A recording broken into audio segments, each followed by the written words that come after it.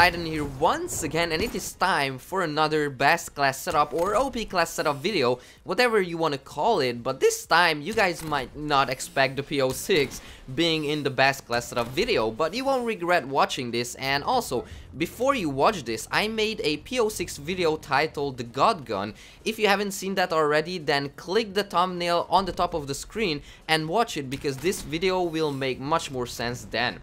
Also, if you're enjoying the OP class setup series, which I'm assuming you do considering the amount of views and likes I got for my previous OP class setup videos, don't forget to show the same support and the same love and drop a like on this video as well and maybe even share it if it's not too much to ask to support my channel.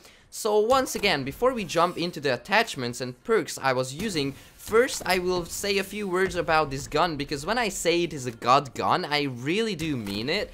And I also have three different gameplays to just show again that with this gun everyone can do consistently good and talking about consistency, people were actually calling me a hacker more times than I can count. Now that I think back actually,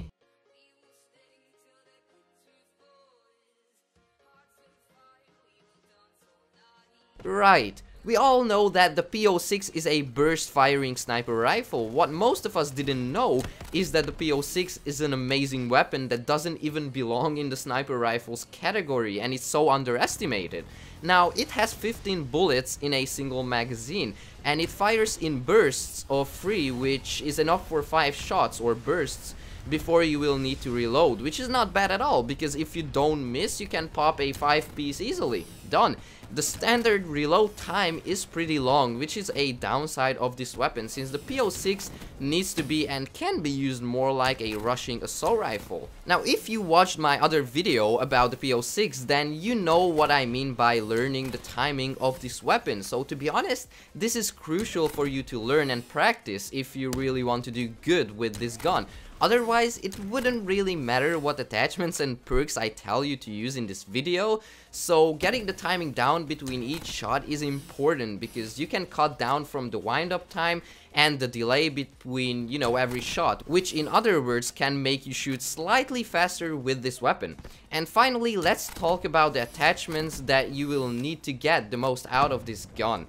The first attachment that you see on the screen is the ELO sight. Now this is something that is really really important since just a second ago, I was saying that the P06 should be used more like a rushing type weapon and the ELO sight will allow you to see what is actually around you. If you use the standard scope uh, when you aim in, that will block your vision and it is somewhat more frustrating. However, if you prefer the st standard sight, then go for it. Now the next attachment is rapid fire. This attachment will not make you fire any faster, but it will make your burst delay be less. And what that means is that the free bursts when you shoot will be fired much quicker. But actually, if you think about it some more, that will also mean that you can get your next shot ready slightly faster. Now, if you feel that rapid fire doesn't do much to you or for you, then a really good alternative would be extended magazine for two main reasons. One, you will get more bullets just in case if you miss a lot. And two, you might not have to run scavenger perk, which we will talk in the perk section in a minute. The next attachment is Fast Mags. This is crucial for the P06 since its standard reload time is really slow. With Fast Mags, you can reload very fast, which is really useful to get ready for your next shot.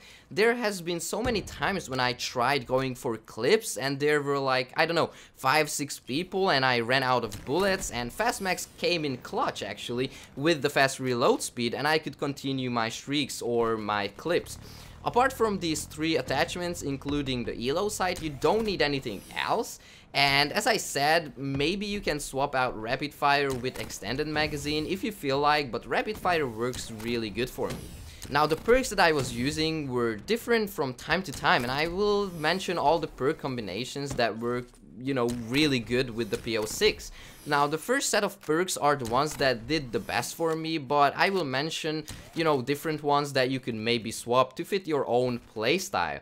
Now the first perk that you are seeing is Flak Jacket. If you're playing with a sniper of any sort, you will not need Ghost because otherwise if you would want to completely stay off the radar, you would need a silencer which would be a waste of space on the P06. So Flak Jacket will make sure to actually not die from all these different explosions.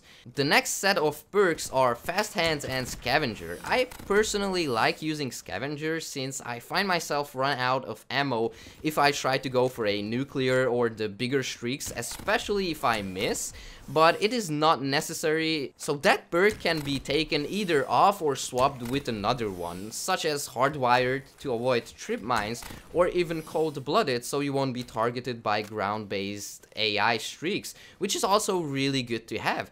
The other perk is Fast Hands and this is a must since it will increase your ADS speed and will get your aim ready way faster after you sprint which you do in this game a lot. Now the last perk that I am using is Tac Mask. This helped me out in so many situations against flashes and even shock charges. These days, people love to throw flashes around, especially in the lobbies that I seem to join. And there are a lot of campers with shock charges placed around the corners, so this is really helpful to prevent all these nonsense bullshit. However, if you always get into lobbies where no one is using flashes and shock charges, then you can also use that silence so people won't hear you moving around and the absolute best thing to do is to make two different class setups with the P06 to have at hand, just so you can encounter everything that comes in your way. But this was today's video guys, I really hope you enjoyed it and if you did don't forget to drop a like and also subscribe to my channel if you are new for more Black Ops 3 content. Also, let me know in the comment section down below what are your thoughts about this weapon and also let me know if you tried playing with it and if it worked well for you. Apart from that, thank you guys so much for over 350 subscribers. We're getting somewhat close to half thousand. It sounds really amazing. Thank you guys so much for continued support.